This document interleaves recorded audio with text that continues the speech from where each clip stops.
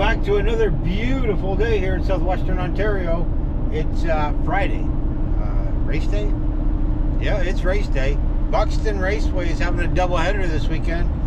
Uh, I don't know if it's the first time for them, but it's the first time for me. So Friday night, Saturday night, all classes, a doubleheader. We're heading to the Speedway for some action, and we hope you'll join us.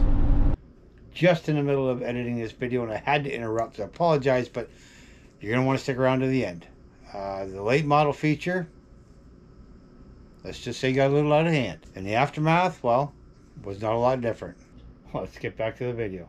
Well, we made our way to our spot. We're here in turn four as usual. They're wetting down the track again. We got about 40 minutes to race time. Friday night. Should be a good time. All comes down to this as we're coming around turn three, about to start feature racing. Green flag about to be shown to the mini stocks, and here we go.